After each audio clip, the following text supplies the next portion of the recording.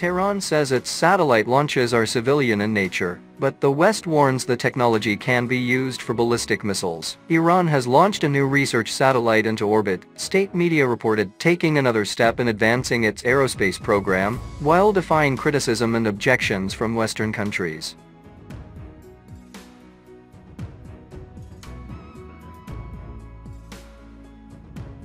The primary mission of the Chamran-1 research satellite, which weighs 60 kilograms 132 pounds, is to test hardware and software systems for demonstrating orbital maneuvering technology in height and phase, state media said on Saturday, following what it said was a successful launch. It was put into orbit by the Ghaem 100 carrier the report said, adding that its first signals have also been received.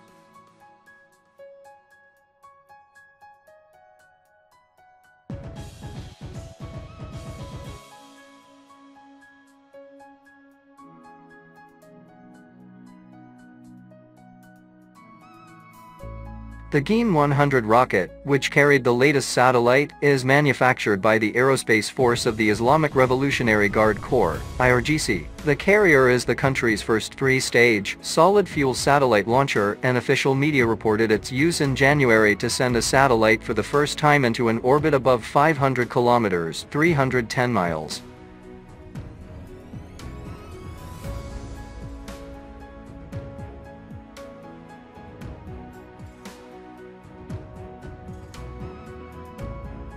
Western governments have repeatedly warned Iran against such launches, saying the same technology can be used for ballistic missiles, including ones designed to deliver a nuclear warhead. Iran maintains that it is not seeking nuclear weapons, and that its satellite and rocket launches are for civilian or defense purposes only. The launch comes as the United States and European countries accuse Iran of transferring ballistic missiles to Russia that would be likely used in its war with Ukraine. Iran has denied this. Iran has been advancing its aerospace activities activities, insisting they are peaceful and in accordance with United Nations Security Council resolutions. But it has also faced several setbacks with several of its satellites exploding during launch.